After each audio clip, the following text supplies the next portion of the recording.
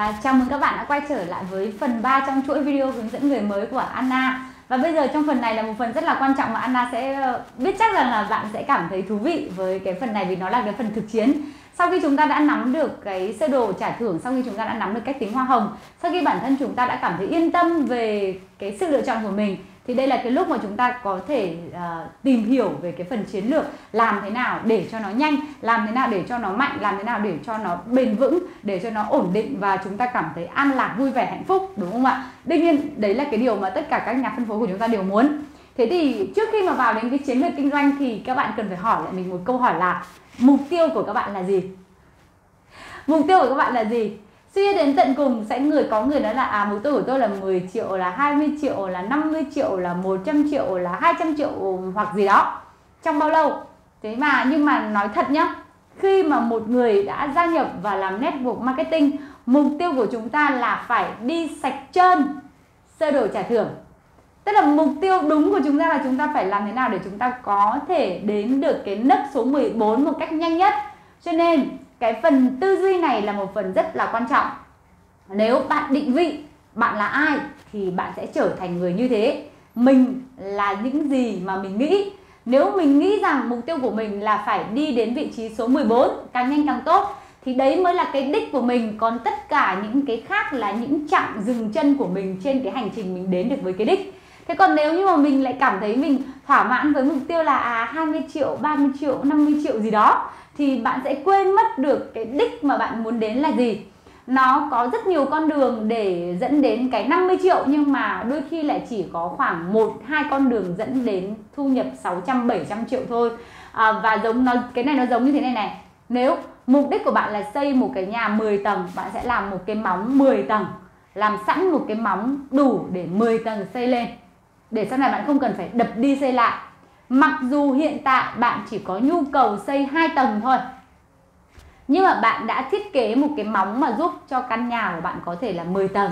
Nó tương tự như thế. Cho nên nếu như mà bạn nào mà đang còn chưa biết mục tiêu của mình là gì, Thì bạn có thể thiết lập một mục tiêu là đi hết sơ đồ trả thưởng trong vòng thời gian bao lâu đấy à, cái cách mà thiết lập mục tiêu theo SMS BDA Anna có một cái video Anna đã livestream và Anna sẽ chuyển đổi nó thành dạng video ở trên YouTube.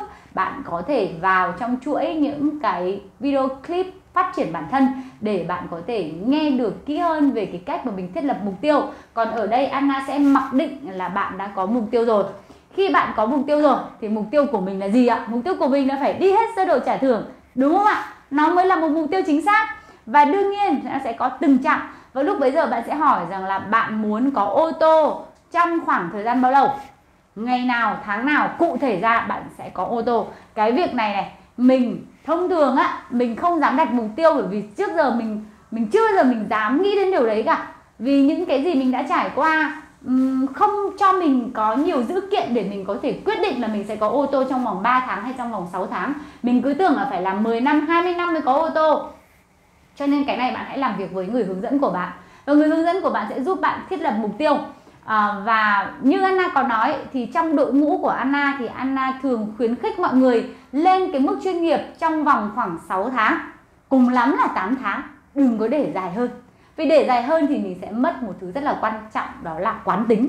Và khi mà bạn có quán tính thì tốc độ bạn đi rất là nhanh. Còn khi bạn bị đánh mất quán tính của mình thì đôi khi bạn sẽ luôn luôn cảm thấy mệt như là cái thời đầu mình bắt đầu tức là nếu đã có đà thì phải tìm cách để giữ cái đà đấy. Không được phép để cho nó mọi thứ nó chậm lại và nó quay lại từ đầu. Việc của mình một khi đã ngồi lên cái máy bay là chỉ có thể làm cho nó cất cánh mà thôi. Không được phép nghĩ đến bất kể một cái thứ gì khác. Và bạn khi bạn đã làm tròn cái tư tưởng của mình như vậy Nào chúng ta sẽ cùng nhau đến một cái chiến lược. Và để mà ra chiến lược chúng ta phải quay về sơ đồ trả thưởng. À, Nào chúng ta sẽ ra chiến lược bằng cách chúng ta nhìn vào sơ đồ trả thưởng nhá. Bây giờ à, để Anna di chuyển cái sơ đồ trả thưởng này gần hơn để các bạn thấy Oh, ok, ok, có vẻ gần hơn rồi. Oh, ok, yes. Rồi đây, bạn sẽ nhìn thấy này, trong sơ đồ trả thưởng chúng ta có 14 vị trí. Và với 14 vị trí này thì Anna hay nói rằng là nhớ 14 vị trí khó quá. Nhớ 14 vị trí quá là khó cho nên là đây là những vị trí bạn cần phải nhớ và thực ra bạn chỉ cần quan tâm đến những vị trí này thôi. Đó là 5 vị trí.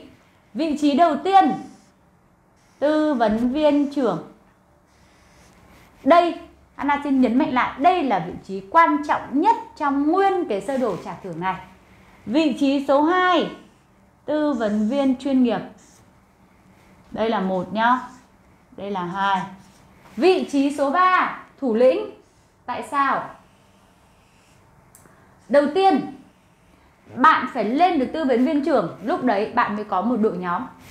Và khi bạn có một đội nhóm rồi, thì bạn mới có lực, bạn mới có đà, bạn, máy bay của bạn nó mới cất cánh được. Sau đó, bạn phải biết cách để hoàn thiện một nhánh chuyên nghiệp là như thế nào. Vì khi bạn biết cách hoàn thiện một nhánh chuyên nghiệp, có nghĩa là bạn sẽ biết cách để hướng dẫn người khác xây dựng một nhánh chuyên nghiệp. Và đấy là lý do tại sao vị trí thủ lĩnh quan trọng. Vị trí thủ lĩnh miễn là thủ lĩnh thì khi lên thủ lĩnh là cái lúc bạn, bên dưới bạn đã có ít nhất một nhánh chuyên nghiệp rồi. Cho nên, nó sẽ đánh dấu một cái quá trình mà bạn đã có thể sao chép được cái kết quả của bạn cho một người. À cho nên vị trí thủ lĩnh là vị trí rất quan trọng. Vị trí số 4 cần phải quan tâm đó là vị trí thủ lĩnh quốc gia. Anna không quan tâm đến cái ở giữa, không có nghĩa là mình sẽ không đi qua nó mình sẽ đi qua nó, nhưng trong tiềm thức của mình chỉ có thủ lĩnh và sau đấy đến thủ lĩnh quốc gia thôi. Và vị trí cuối cùng các bạn cần phải nhớ, đấy là vị trí thủ lĩnh quốc tế. Anna đã neo cái điều này ở trong hệ thống của mình kỹ đến mức độ, nhiều đến mức độ mà mọi người quên luôn là hai cái ở giữa này được thưởng cái gì. Nó cũng được thưởng nào là du lịch rồi tiền mặt gì đó mà Anna không quan tâm, mà Anna chỉ quan tâm đến năm vị trí này thôi và thay vì mình phải nhớ 14 vị trí, bây giờ bạn chỉ cần phải nhớ có 5 vị trí thôi. Một, đó là tư vấn viên trưởng. Hai là nhà tư vấn chuyên nghiệp. Ba là thủ lĩnh. Bốn là thủ lĩnh quốc gia. Và năm là thủ lĩnh quốc tế. Bạn chỉ cần đưa vào trong tâm trí của mình năm vị trí này thôi. Bạn sẽ dùng kết quả của tư vấn viên trưởng để giúp bạn lên được nhà tư vấn chuyên nghiệp. Bạn dùng kết quả của nhà tư vấn chuyên nghiệp để giúp bạn lên được thủ lĩnh. Bằng kết quả của thủ lĩnh, bạn sẽ tuyển dụng, đào tạo, mở rộng, tối ưu để nâng cao cái hiệu suất của hệ thống mình, làm cho mình lên được thủ lĩnh quốc gia. Và từ kết quả của vị trí thủ lĩnh quốc gia là lúc bạn được nhận Mercedes này, lúc bạn có thu nhập 200 triệu này, lúc bạn có rất nhiều hình ảnh đẹp được vinh danh ở trên sân khấu này nó sẽ làm cho bạn có thể có khả năng tuyển dụng được rất nhiều mối quan hệ mạnh ở ngoài kia. Rất nhiều những người mà trước đây chưa từng biết bạn bây giờ muốn về làm với bạn. Và lúc đó bạn bạn sẽ làm được một lúc thêm 10 người nữa để bạn lên được thủ lĩnh quốc tế. Đừng bao giờ nghĩ đến cái chuyện là mình sẽ làm lần lượt lần lượt từng người một. Không ai yêu cầu như thế cả.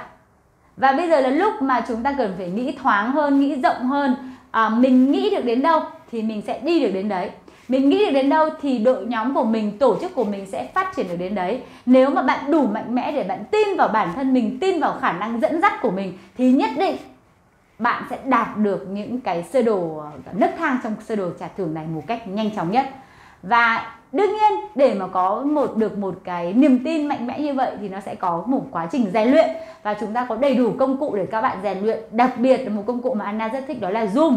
Và các bạn hãy vào Zoom để các bạn có thể nghe được những cái người hướng dẫn của mình. À, đặc biệt là đầu nhánh S69 của chúng ta là à, anh Trương Huy Cường. À, thường xuyên có những buổi Zoom mà lần nào vào Anna cũng cảm thấy Anna học hỏi được rất là nhiều.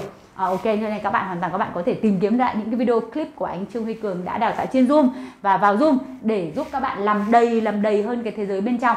Mức độ phát triển bản thân mình sẽ quy định cái uh, quy mô của tổ chức bởi vì cái mức độ phát triển bản thân của mình nó sẽ quyết định cái năng lực lãnh đạo của mình. Rồi ok quay trở về với chiến lược kinh doanh. Chúng ta có 5 vị trí cần phải lên. À rồi bây giờ thế này nhá. Để mình đi hết được sơ đồ trả thưởng thì mình sẽ cần phải lên thủ lĩnh quốc gia một cách nhanh nhất đúng không ạ? Nếu để lên thủ lĩnh quốc gia được một cách nhanh nhất các bạn đã bao giờ hình dung là các bạn sẽ lên thủ lĩnh quốc gia vào lúc nào chưa? À, để Anna cho các bạn một cái ví dụ như thế này. Mình chưa bao giờ biết than hồng nó nóng. Thì khi bạn nhìn thấy một cục than hồng ai bảo bạn là dẫm chân lên đi bạn sẽ dẫm. Sau đấy rồi nó đau thì bạn mới không dẫm. Thế rồi bạn nhìn thấy những người khác như thế và rồi bạn sợ. Và rồi bạn cũng không bao giờ nghĩ đến chuyện dẫm trên than hồng. Mặc dù bạn chả bao giờ biết rằng là nó có nóng hay không đúng không ạ? Mình nhìn thấy và mình cảm thấy sợ. Thế thì quay ngược trở lại với một người mới. Một người mới tinh mới ơi là mới. Đặc biệt chưa bao giờ làm MLM à, à, chả biết gì về sơ đồ trả thưởng. Hoặc là đã làm MLM nhưng mà làm của các công ty khác không phải là công ty mình. Thì họ sẽ chẳng biết là độ khó như thế nào để lên được những vị trí này cả họ không hình dung được độ khó của nó cho đến khi bạn nói với họ. Đúng không ạ? Thế cho nên là với những người mới đóng đinh luôn vào trong tâm thức của họ là họ cần phải đi hết sơ đồ trả thưởng. Và để đi hết sơ đồ trả thưởng cần phải lên thủ lĩnh quốc gia một cách nhanh nhất. Ok chưa?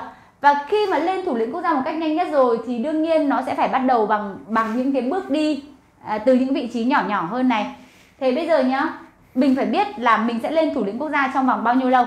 Thì bạn phải lên thủ lĩnh quốc gia được đã rồi bạn mới tính đến thủ lĩnh quốc tế. Rồi để mà lên vị trí nhà tư vấn chuyên nghiệp để lên vị trí nhà tư vấn chuyên nghiệp là bạn sẽ cần có mức doanh số khoảng 500 triệu điểm là khoảng 20.000 điểm. Nghe 500 triệu nó bự lắm cho nên đổi hết sang điểm đi nặng 20.000 điểm. Và với cái vị trí này này thì um, người ta thường trong hệ thống của mình thường làm hết khoảng 8 tháng. 8 tháng là lên được vị trí nhà tư vấn chuyên nghiệp như Anna thì Anna làm được nhanh hơn. Bởi vì Anna xác định mục tiêu của Anna xa hơn cho nên Anna làm được nhanh hơn. Nếu ai đó mà xác định cái mục tiêu của họ là nhà tư vấn chuyên nghiệp thì họ sẽ uh, họ sẽ làm chậm đấy. Còn nếu như bạn xác định rằng là để mà lên được thủ lĩnh quốc gia lên được thủ lĩnh quốc tế bạn cần phải qua cái mức chuyên nghiệp này một cách nhanh nhất thì tự động nó sẽ nhanh. Ok chưa? Vậy là bình thường giả dụ đi tốc độ trung bình là 8 tháng các bạn ra được một nhà chuyên nghiệp là tốc độ rất là trung bình nhá. Thì bạn sẽ thấy rằng là để mà từ chuyên nghiệp mà lên thủ lĩnh á là cái bước nhảy của nó khoảng quãng chừng 20.000 điểm lấy 40.000 điểm trừ 20.000 điểm là còn 20.000 điểm đúng không ạ? Nhưng mà để từ chuyên nghiệp mà lên uh, thủ lĩnh cao cấp là bước nhảy tận 80.000 điểm cơ. Tức là chờ rất lâu. Đây nếu mình đã lên chuyên nghiệp rồi, tức là trong hệ thống của mình đã phải có những ai đó lên tư vấn viên trưởng, thậm chí là tư vấn viên cao cấp, đúng không ạ? Và cái thời gian để chuyển hóa một người từ thủ lĩnh, xin lỗi, từ chuyên nghiệp mà lên thủ lĩnh, đôi khi nó chỉ trong vòng khoảng 2 cho đến 3 tháng thôi. Tức là sau khi họ lên chuyên nghiệp rồi thì khoảng 3 tháng sau là họ có thể lên được thủ lĩnh. Thôi Anna lấy dài ra là 8 tháng bạn lên chuyên nghiệp và sau đến 4 tháng sau thì bạn lên thủ lĩnh. Đấy, tức là trong vòng một năm là bạn lên thủ lĩnh. Như vậy đi. Thế thì nếu mà để mà từ thủ lĩnh mà bạn lên thủ lĩnh cao cấp á, là lúc này bạn cần phải có tận 3 nhánh chuyên nghiệp và bạn phải có cộng add on vào thêm, cộng thêm vào 60.000 điểm là một con số rất là nhiều. Vì trong vòng một năm bạn mới làm được vị trí thủ lĩnh, tức là bạn phải cần ít nhất khoảng quãng chừng cả năm sau bạn mới có thể lên được cao cấp đúng không? Đấy là tốc độ bình quân của một người. Thế thì Anna đã từng đã từng theo dõi uh, những cái sơ đồ trả thưởng. Thì à xin lỗi những cái uh, sơ đồ của một số nhánh. Thì thế này nếu mà mình lên thủ lĩnh uh, quốc gia khi bên dưới mình có một ai đấy lên chuyên nghiệp tức là mình lên tổng 20.000 200.000 điểm khi bên dưới mình có một ai đấy lên 100.000 điểm thì nó sẽ làm cho mình phải chờ đợi lâu. Về mặt thực tế điều đấy sẽ xảy ra nhưng mà nó sẽ làm cho mình phải chờ đợi lâu. Và khi mình phải chờ đợi lâu như vậy thì có thể mình sẽ lên thủ lĩnh quốc gia trong thời gian nó bị nó bị kéo dài ra vài năm chẳng hạn. À, thế nhưng nếu như bạn chỉ kỳ vọng là bạn có 5 thủ lĩnh bạn đã lên được thủ lĩnh quốc gia rồi thì câu chuyện nó sẽ rất khác. Thực tế năm thủ lĩnh đấy họ có thể có nhiều hơn 40.000 điểm. Nhưng mà mình cái việc của mình là mình phải tạo ra được 5 người mỗi người 40.000 điểm trong vòng một năm thì bạn sẽ lên thủ lĩnh quốc gia trong vòng một năm. Đúng không ạ? Bạn bạn bạn phải nắm rõ cái chỗ này nhá. Nếu mà bạn chưa rõ, bạn hãy nghe lại một lần nữa. Tức là mục đích của mình là gì? Mục đích của mình sẽ là tạo ra 5 người thủ lĩnh trong cùng một thời điểm thì bạn sẽ lên thủ lĩnh quốc gia. Sau này, kết quả thực tế có thể là người ta sẽ nhiều hơn, có người nhiều hơn, có người ít hơn, mình không quan tâm.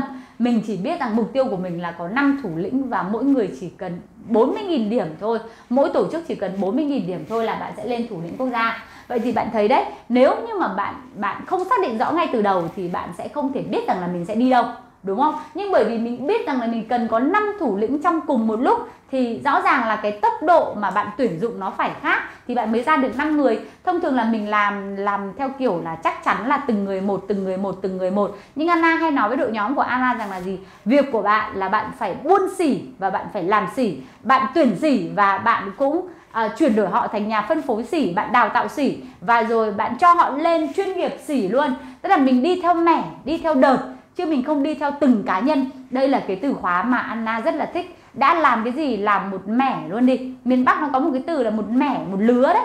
Đấy thế thì đã tạo ra thì mình hãy tạo ra một lứa luôn đi thì nó sẽ nhanh. Thế thì mục tiêu của mình nếu bây giờ là mình muốn lên nhanh thì mình phải cái mấu chốt là mình phải có 5 người lên thủ lĩnh nhanh để có 5 người lên thủ những đỉnh nhanh thì tức là bạn sẽ cần phải có một lượng người lớn ngay trong những tháng đầu tiên mà bạn mới bắt đầu gia nhập thì bạn mới có thể làm được điều đấy.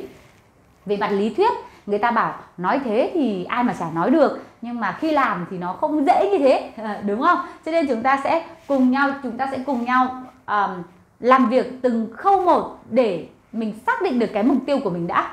Khi mình phải xác định được cái cái cái đây gọi là cái kế hoạch triển khai thì sau đó mình mới có các bước triển khai được. À, còn khi mà mình làm việc mà mình đi tù mù mình không có kế hoạch mình chả biết đi đâu mình chả biết mình lên đến đâu mình chả biết là mình làm này để làm gì nhằm mục đích gì thì đương nhiên là bạn sẽ không làm. Thế thì cái mục đích của Anna là Anna muốn cho bạn thấy rằng là nếu bạn có 5 người lên thủ lĩnh cùng một lúc thì bạn sẽ lên thủ lĩnh quốc gia. Vậy thì chúng ta sẽ đi đến một cái thứ là làm thế nào để bạn có 5 thủ lĩnh trong cùng một thời điểm đúng không nào? Đây các bạn sẽ nghe ờ, rất là nhiều cái tỷ lệ gọi là 80 20 Tức là như thế này, nếu bạn có 100 cái data thì bạn sẽ thiết lập được 20 cuộc hẹn. Trong 20 cuộc hẹn này sẽ có 6 người mở mã số và trong 6 người mở mã số đấy bạn sẽ có một con tàu vàng. Tức là bạn sẽ có một cái người mạnh mà lên thủ lĩnh ấy. Thế nếu như mà bạn làm tuần tự, bạn làm tuần tự thì bạn sẽ theo đúng tỷ lệ này.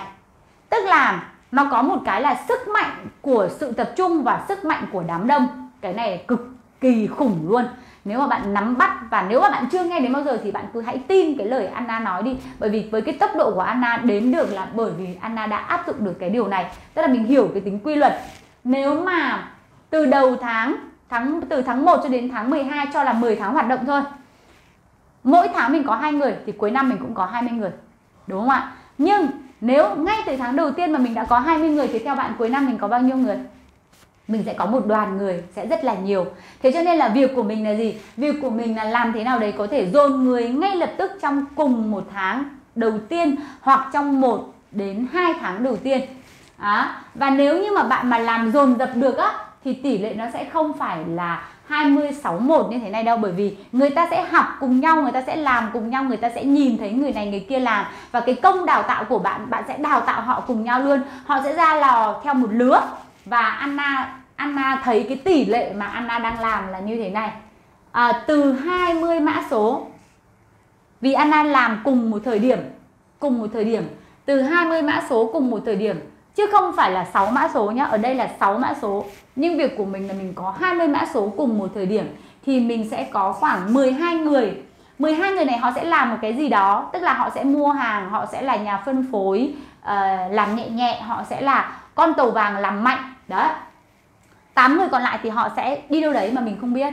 Và sau 12 ngày người này thì lúc bấy giờ mình sẽ có được khoảng 8 người sau 2-3 tháng đấy mình sẽ còn khoảng 8 người hoạt động. Còn khoảng 8 người hoạt động. Và trong 8 người hoạt động này này thì ngay tại thời điểm này thì Anna đang có khoảng hai nhánh rất mạnh hai nhánh rất mạnh và sẵn sàng để lên cái mức chuyên nghiệp. Còn tất cả những người còn lại thì họ đang họ đang uh, cũng trong đấy cũng có khoảng thêm ba bốn người nữa là họ sẽ quyết tâm là họ chinh phục cái mốc 5.000 điểm trước khi mà lên 20.000 điểm. Đó. Thế thì sau đó, cái số 8 người này này, có thể mình sẽ còn lại khoảng 4 người hoặc hai người rất mạnh.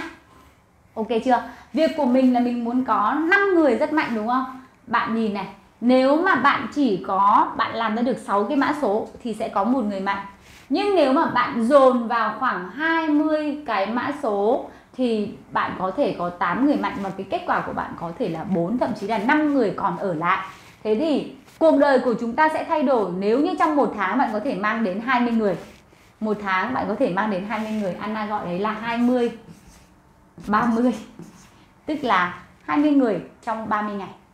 Nếu trong một tháng mà có thể tạo ra được 20 người trong 30 ngày thì đây sẽ là một trong những cái thứ mà làm thay đổi cuộc đời của bạn và nếu một năm bạn chỉ cần có 4 tháng. Mỗi tháng bạn tuyển được 20 người thì bạn sẽ nhanh chóng đi hết sơ đồ trả thưởng của công ty chúng ta đi hết sơ đồ trả thưởng của Siberian. Nếu như bạn không thể làm ngay trong tháng này tức là một năm bạn có 4 quý trong 4 quý đấy bạn chọn ra một tháng để bạn tuyển 20 người. Còn những tháng còn lại bạn cứ 5 người, 6 người, 7 người, 8 người, 10 người. Đừng bao giờ có một tháng nào mà bạn không có người mới hết. Bài học xương máu của Anna Anna đã, ngay từ thời gian đầu Anna không có đọc kỹ cái quyển hướng dẫn mà mà người hướng dẫn của Anna đưa cho Anna. Cho nên là Anna đã mở 20 người xong tháng sau là mình tập trung vào mình phát triển đội nhóm. Thế rồi mình thấy mình không lên được vị trí thủ lĩnh nhà mình đã lên được chuyên nghiệp rồi mà sao mình lại phải dừng lại ở vị trí chuyên nghiệp mấy tháng? Và trong hành trình đó thì mình phát hiện ra cái việc quan trọng số 1 đấy là bạn phải có người mới. Cái việc quan trọng số 1 là bạn phải có người mới và khi bạn có người mới thì nó sẽ ra một cái năng lượng rất là siêu khủng luôn á. Và nó sẽ tạo ra một cái quán tính và đội nhóm của bạn sẽ đi nhanh hơn và họ sẽ bị đốt ngang. Tức là họ đốt lẫn nhau. Họ làm, người này làm rất là bốc thì họ sẽ làm cho người bên cạnh làm cũng bốc hơn. Đó, bởi vì thế cho nên rằng là gì?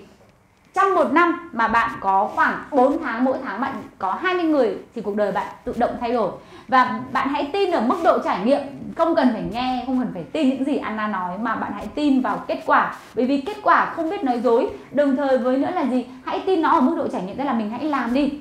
Nhiều người bảo rằng làm thế nào mà có thể tuyển được 20 người trong 30 ngày. Ồ, đó là cái sự giới hạn ở bên trong đầu của chúng ta. Có nhiều người vẫn làm được đấy thôi. Hãy nhìn lại đi, có rất nhiều người làm được nhưng mà họ không dùng nó như một dạng chiến lược họ không nâng nó lên thành một dạng chiến lược để mà có thể phát triển. Tức là như thế nào nhỉ? Bạn đã làm được một tháng rồi, bạn ngủ quên trên cái niềm vui đấy rồi, bạn không làm tiếp tục. Nhưng mà nếu mà một năm bạn có 4 tháng bạn làm như thế thì anh đã đảm bảo rằng là Việt Nam chúng ta sẽ có rất nhiều thủ lĩnh quốc tế, rất nhiều thủ lĩnh quốc tế luôn. Và đăng nào bạn chả phải gặp từng đấy người đăng nào bạn chả phải gọi từng đấy cuộc hẹn.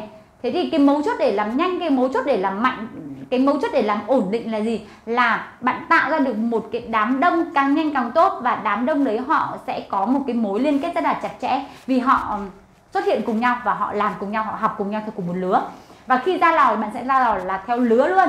Cho nên là lúc đầu khi mà Anna mới làm thì Anna có đặt mục tiêu khác nhưng khi Anna làm rồi Anna có thêm các cái chiến lược thì Anna đã uh, kéo giãn cái mục tiêu của mình ra tức là tăng độ khó cho mình lên. Và rồi đây chỉ là trò chơi của các con số nếu bạn thêm những cái nỗi lo sợ của bạn vào, bạn mới không làm được thôi. Còn nếu mà bạn có thể, bạn gạt bỏ những cái nỗi lo sợ của bạn, những cái thứ thuộc về cá nhân của bạn ra, đơn giản đây là con số và bạn chỉ đếm số người bạn đã làm được. Đừng quan tâm đến việc ai từ chối bạn. Không quan tâm, chỉ đếm số người bạn sẽ làm được. Và khi bạn cứ mở 20 cái mã số ra bèo nhất nhé bèo nhất cũng sẽ có ba người biết làm việc bèo nhất cũng sẽ có ba người biết làm việc. Và nếu trong một tháng đầu tiên mà bạn tuyển được 20 người hoặc tháng thứ hai bạn tuyển được 20 người trong vòng một tháng thì trong tháng đó bạn sẽ lên chuyên bạn sẽ lên tư vấn viên trưởng. Trong tháng đó bạn sẽ lên tư vấn viên trưởng. Và cái và quan trọng hơn là cái kết quả đó với lượng người đó sẽ cho bạn lên tiếp tục các vị trí 10.000 điểm, 20.000 điểm là tư vấn viên cao cấp và nhà tư vấn chuyên nghiệp chỉ sau 1 đến 2 tháng sau đó mà thôi. Đây là một trong những cái bí kíp ờ, của Anna và Anna rất là mong muốn nhiều bạn, nhiều bạn hãy sao chép cái kết quả này đi. Hãy sao chép cái điều này đi và khi bạn làm được bạn sẽ cảm thấy nó đã như thế nào. Và bạn sẽ cảm thấy rằng là ồ hóa ra là cái con đường để lên nhà tư vấn chuyên nghiệp nó cũng là một con đường có công thức và nó có công thức để trở thành một con đường rất là nhanh để bạn có thể làm được rất là nhanh. Vì vậy cho nên rằng là Anna rất là mong bạn hãy nhớ cái con số này. Nếu tháng này tháng sau bạn chưa thể làm được con số này thì hãy tạo một cái áp lực cho mình là tháng nào, cụ thể tháng nào bạn sẽ đạt được con số này. Bạn làm sao để bạn thu hút được, dồn được một lượng người lớn trong một thời điểm? Anna hay nói cái điều này rất là nhiều, bạn phải tìm cách bạn dồn được một người lớn ở trong một thời điểm.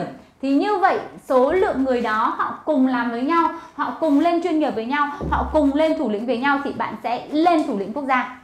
Khi chúng ta làm trong một khoảng thời gian quá dài, thì bạn có công nhận rằng là có người sẽ làm, có người sẽ nghỉ cái lúc mà người A làm thì người B lại nghỉ. Cái lúc mà người B làm thì người A lại nghỉ và cứ lằn ngoằng như thế cho nên chúng ta không dồn được người vào trong một thời điểm. Nếu mà bạn có thể giữ được đúng cái lực, giữ được đúng cái đà, bạn dồn được một lượng lớn người vào một thời điểm thì câu chuyện nó sẽ khác hoàn toàn. Và khi câu chuyện nó khác hoàn toàn rồi thì bạn biết đấy, cái con đường sự nghiệp của bạn sẽ mở rộng một cách thanh thang. Cho nên cái mấu chốt của chúng ta là bạn hãy nhớ rằng là chúng ta cần phải tuyển dụng nhanh. Và nhanh ở mức độ như nào? Như thế này là nhanh như thế này là nhanh. Hãy nhớ đến cái mục tiêu của bạn là gì. Mục tiêu là đi hết sơ đồ trả thưởng một cách nhanh nhất. Và như thế này gọi là bước một, bước hành động. Nghĩ thì nghĩ một cái bức tranh lớn. Nhưng khi bước thì phải bước những cái bước căn bản. Và đây là một cái bước căn bản mà bạn phải làm được. Đừng bao giờ để một tháng nào mà bạn làm được dưới 5 người nhá. 5 người mới là tối thiểu. 5 người mới là tối thiểu bởi vì trong 5 người mới đấy mà bạn làm thì xác suất chỉ có khoảng một người là người ta biết làm việc thôi nếu mà bạn có cái khả năng ảnh hưởng lớn thì cùng lắm có hai người mà người ta biết làm việc, chứ không phải là quá nhiều đâu. Cho nên việc của mình là gì? Việc của mình là tối thiểu một tháng, bạn phải tuyển được năm. Và bạn không được để cho bạn thoát ra khỏi cái khoảng danh, khoảng số là từ năm mà cho đến 20 người. Bạn không được cho phép bạn thoát ra khỏi con số này người mới trong một tháng. Nếu mà bạn đang cảm thấy có vấn đề gì đó thì bạn cần phải thay đổi ngay về cách làm của mình để bạn có thể đạt được cái số lượng người này. Đây cái đấy là cái một cái chiến lược về con số rất là quan trọng. Và hãy nhớ rằng là nhìn vào đây và hãy xem nó đơn giản là các con số. Đừng có hoảng sợ với những điều này. À, đừng có gắn nó với những cái trải nghiệm trong quá khứ của mình. Và đặc biệt là gì? Người mới họ chưa biết gì cả cho nên là nếu như mà mình nói với họ thì rõ ràng là họ sẽ đóng đinh cái điều này vào trong tâm thức. Bản thân Anna cũng đã đóng đinh cái điều này trong tâm thức Anna và Anna cũng đóng đinh cái điều này trong tâm thức của những nhà phân phối thuộc trong hệ thống của Anna và Anna tin chắc rằng là trong tương lai gần thôi các bạn sẽ thấy được là cái kết quả của việc phát triển nhanh nó sẽ được nhân bản như thế nào. Và cái nhân bản mới là cái đáng quý. Cái kết quả của bản thân mình nó chưa nói lên điều gì. Và khi mình có thể nhân bản được ra thì mình mới biết rằng là à công thức đấy hoạt động rất ngon và khi đã có một công thức ngon rồi thì các bạn cứ yên tâm mà làm, đúng không ạ rồi, vậy là các bạn hãy nhớ đến cái điều là cái con số mà trong cái khoảng từ 5 cho đến 20 người mới một tháng và cứ bất cứ tháng nào mà các bạn có thể tạo ra 20 người được thì tháng đấy chính là cái tháng mà doanh số của bạn sẽ bùng nổ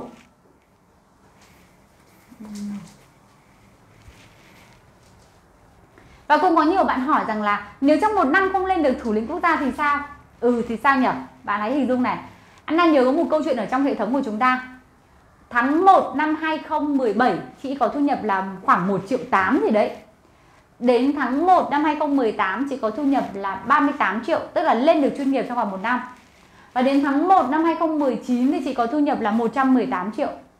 Nếu mình làm một công việc gì đó, Sau 2 năm mà mình có mức thu nhập là 118 triệu Thì bạn cảm thấy nó có xứng đáng chưa ạ? Anna thấy là nó rất là xứng đáng. Vậy là với cái cách bạn làm như thế này, mà giả sử như bạn không lên được thủ lĩnh quốc gia trong vòng một năm, thì Anna nghĩ là ngay cả trong vòng 2 năm mà các bạn lên được mức thu nhập 118 triệu một tháng đã là một cái mức mà không có một cái ngành nghề nào ở bên ngoài, gần như là không có có thể mang đến cho tất cả mọi người tham gia, tức là mang đến được cho số đông. Cũng có những người rất là, gọi là cao thủ, người ta làm được cái mức là như thế trong vòng 2 năm nhưng ở ngành nghề của chúng ta thì nếu mà cao thủ thì trong vòng 2 năm thì thu nhập của họ phải đi cao xa hơn rất là nhiều, chứ không phải là như thế. Cái mức mà thu nhập khoảng 100 triệu sau 2 năm là một cái mức mà Anna nghĩ là bình quân, trung bình, không quá xuất sắc và cũng không thấp. Đấy là một cái mức mà rất nhiều người mong muốn được rồi. Và bạn hãy nhớ rằng đây là trường dạy làm giàu cho những người thích giúp đỡ người khác. Tức là chẳng ai đuổi bạn chẳng ai thu học phí của bạn. Chúng ta dạy nhau làm giàu miễn phí và chúng ta hướng dẫn nhau một cách miễn phí. Bởi vì chúng ta có sự gắn kết với nhau về mặt quyền lợi. Điều đấy làm cho cái sự hướng dẫn và giúp đỡ này nó không phải giống như những uh, những người mà gọi là ở gọi là những cái thầy giáo ở trên lớp học mà uh, làm nhiều ngành nghề khác nhau mà ở đây chúng ta là gì? Chúng ta là người trước đã làm đã có kết quả và chúng ta hướng dẫn lại cho người sau. Cho nên là người sau có khả năng đi với tốc độ phát triển nhanh hơn rất là nhiều. Đấy cho nên là khi mà mình nhìn thấy rằng là ngay cả trong điều kiện mà một sau một năm mình không lên mức được mức 200 triệu sau một năm lên 100 triệu cũng đã rất tốt rồi. Và ngay cả khi mà sau 2 năm mình mới lên được mức 100 triệu anh là thấy cũng quá tốt. Và chắc chắn sẽ có rất nhiều bạn xem video clip này cũng sẽ đồng tình với Anna. Vậy thì trong cái chiến lược này này cái đầu tiên là bạn phải hiểu và bạn phải xem xét được cái sơ đồ trả thưởng và sau đó bạn phải hiểu được về các con số. À, ok chưa? Đây là một cái phần đầu tiên. Đến phần thứ hai Phần thứ hai nó thuộc về bạn làm thế nào để bạn có thể triển khai được cái bức tranh này ra bên thực tế thì chúng ta sẽ có những cái phần công việc mà các bạn cần phải làm và cần phải xem. Cái đầu tiên đó chính là 6 bước đi. 6 bước đi. Đầu tiên, video clip này thủ lĩnh Trương Huy Cường của chúng ta đã quay rất là chi tiết cụ thể. Các bạn cần phải xem rất kỹ video clip này. Bước 1 là niềm tin sản phẩm, bước 2 là tạo ra một danh sách người quen tối thiểu là 200 người, bước 3 là lên cuộc hẹn, bước 4 là chốt, bước 5 là xin lỗi, bước 4 là mời đến OPP, bước 5 là chốt và bước 6 là đào tạo. Và bạn hãy xem cái video clip này xem đi xem lại, xem đi xem lại để bạn có thể nghe được những cái chiến lược mà thủ lĩnh của chúng ta đã cung cấp cho chúng ta. À, cái này là một cái rất là quan trọng, tối quan trọng dành cho người mới. Cái thứ hai là bạn cần phải xem ngay là bạn phải tìm cái video clip của cũng của anh. Đó là uh, công việc hàng ngày. Đúng không ạ? Rồi mình phải cụ thể hóa ra. Công việc hàng ngày. Mình phải làm cái gì? Có nhiều bạn ấy không biết một ngày mình sẽ làm cái gì cả thì bạn sẽ vào đây bạn sẽ biết công việc hàng ngày của bạn phải làm cái gì. Và ở đây Anna xin nhấn mạnh lại cho bạn một chút.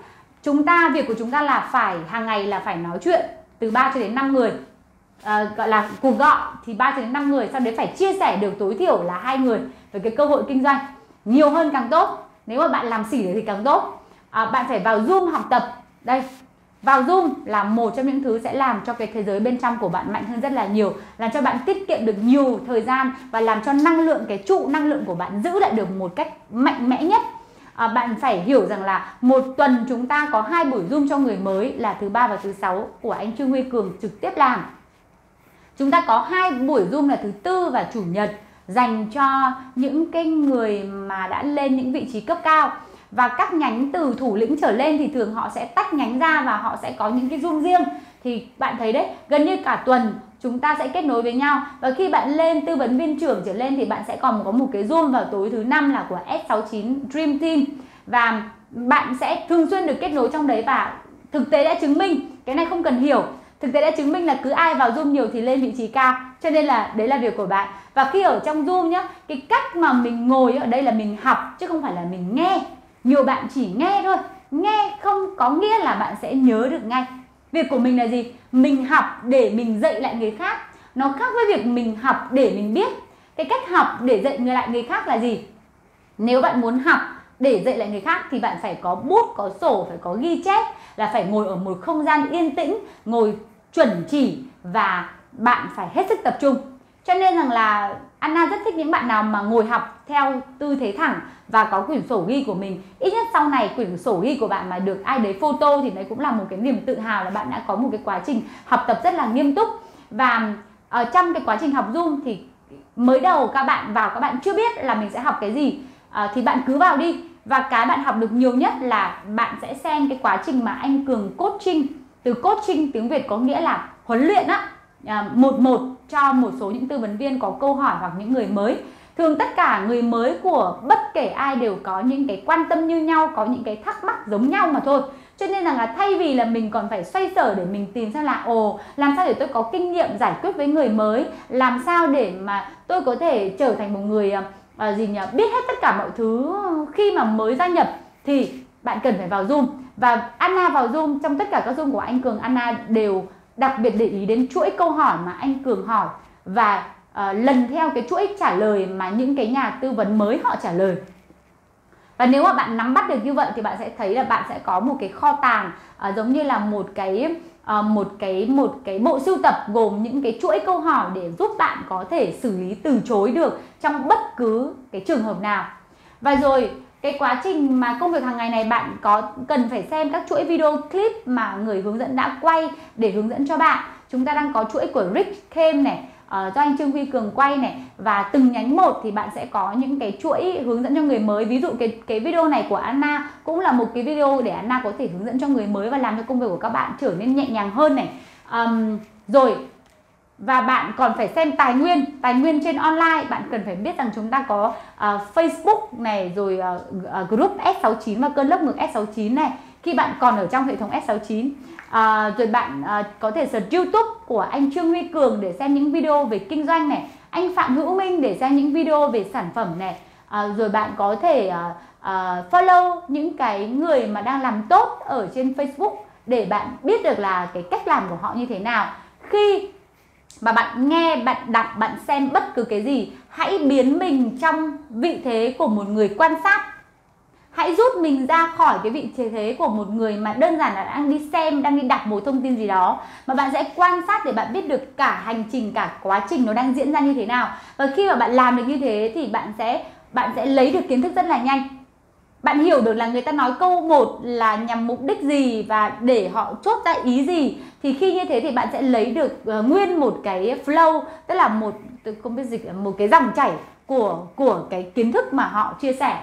Đó là những công việc hàng ngày bạn phải bạn phải bạn phải ờ, vào và và bạn phải xem nhé đây là đây là cái điều mà rất quan trọng rồi mỗi nhóm sẽ có một chiến lược khác nhau. Nhưng nhóm của chúng ta thì chúng ta có cái chiến lược là làm thế nào đấy để bạn có thể xây dựng nhân hiệu được ở trên internet.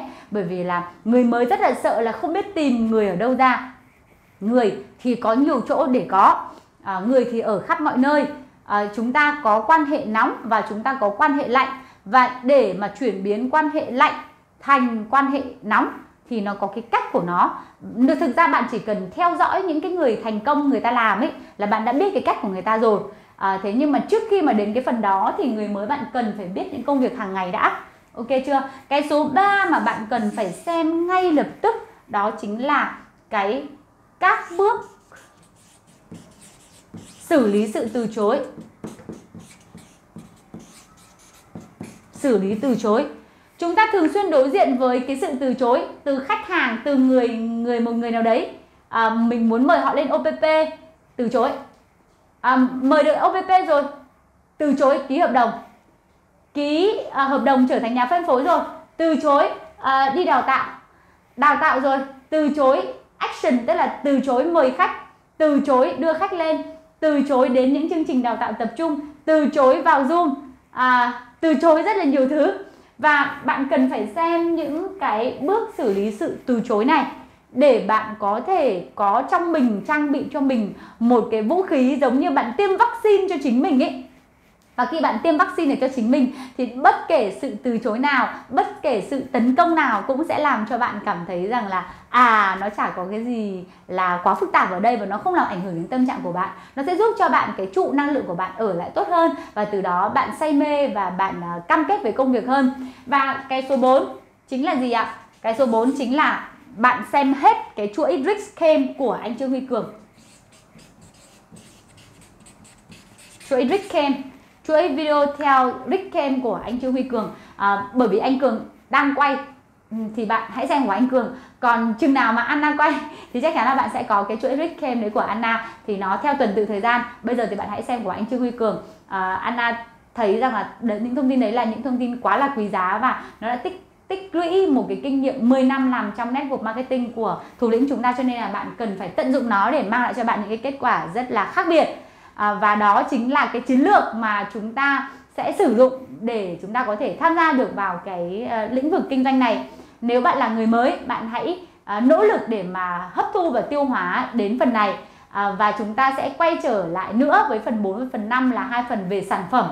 Và kết thúc uh, cả năm cái phần dành cho người mới này à, bạn mới quay sang để bạn đặt những cái bước đi đầu tiên rồi công việc hàng ngày và các bước xử lý tự từ chối và Ờ, uh, chuỗi kem nhé bạn bạn nhớ như thế nhé uh, ờ, và Anna tin chắc rằng là uh, thêm hai cái phần nữa về sản phẩm sẽ giúp bạn có một cái bức tranh toàn cảnh về uh, cái việc mà chúng ta cần phải làm và bạn sẽ cảm thấy tự tin hơn.